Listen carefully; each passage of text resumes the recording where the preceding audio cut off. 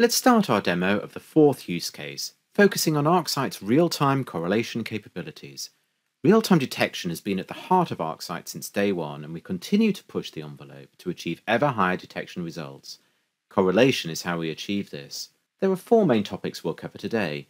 We'll start by describing our approach to categorization. Then we'll show you two different methods to create correlation rules. Sigma support will be shown next. And then we'll finish this section with a brief look at our distributed correlation mode. The challenge with correlation rules is that they have a real risk of becoming outdated the moment one security vendor, say EDR, is replaced with another one, generating similar events but with a diverse logging taxonomy.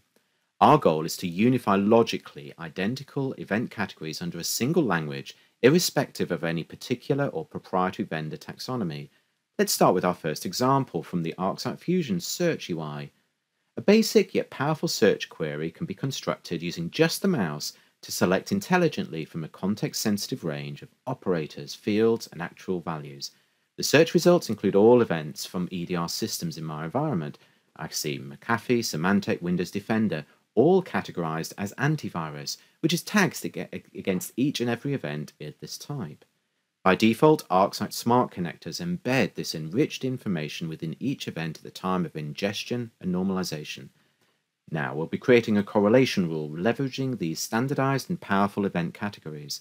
First, we'll use our modernized web interface where we'll write a vendor-neutral single correlation rule to find all EDR and endpoint protection events using the same antivirus category. I like the web wizard, however, power users often prefer to use our mature ArcSight console to reach the full potential of ArcSight's content development system. This is what we'll show next. Rule building takes place in what we call the Correlation Conditions Editor, or CCE for short. The ArcSight CCE is a powerful drag and drop interface designed to aid design and maintenance of content for today's advanced query and detection requirements.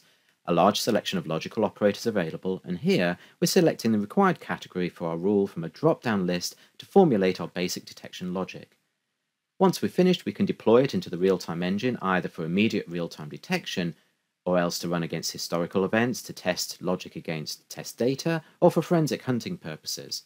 In the next section, I'll be talking about Sigma and how to integrate it with ArcSight.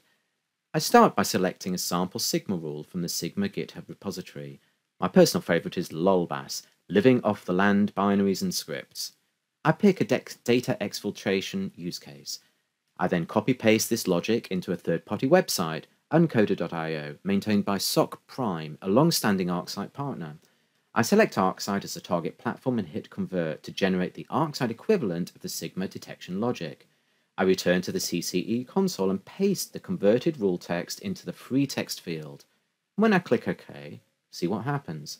The content gets populated into the CCE and automatically parsed, just like any other ArcSight correlation rule.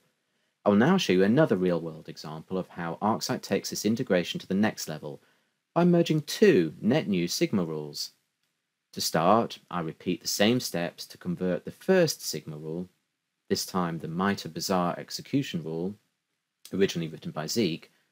Once I hit translate and copy, I can then paste it into ArcSight. Merging is an advanced technique to detect otherwise low and slow evasive kill chain techniques. Merging these two rules intelligently, we can devise a stronger rule that is tougher to evade and forms a core capability upon which our customers depend. I'll make up an example here, but you will understand the main concept. I will alert only when the file hash of the first rule matches the file hash of the second by composing a, a super correlation rule or higher priority of alert. Now I'm preparing the second rule as rule 2. Once I'm happy with it, I see the first rule appears at the top with the second beneath, combined by default with an OR condition. We switch the join condition to an AND, leaving only to ensure that the file hash from the first rule is joined or matched against the file hash of the second to implement our supercorrelation logic. This is a prime example of leveraging simple building blocks to form more sophisticated correlation logic by layering tested and proven content to meet increasingly more complex use cases. Once I'm done, I click OK and deploy click deploy to make the new rule active by deploying into the real-time rules folder. Finally, I will show a modernized architectural design that has enabled us to meet the expanding correlation needs of some of the world's largest organizations Welcome to Distributed Correlation, ArcSight's advanced correlation cluster mode, specifically designed to support real-time detection for high EPS, high-speed environments, leveraging our mature correlation technology. In this mode, we decouple the correlator function from other components, such as aggregation and persistence, facilitating cost-efficient allocation of CPU, memory, and storage required resources to each functional component as needed. This enables our customers to utilize a cluster of smaller nodes, some allocated to correlation, others aggregation, whilst all working in concert within a single logical ESM instance and already proven by one of our larger customers to reach with 300,000 EPS. This ends demonstration 4.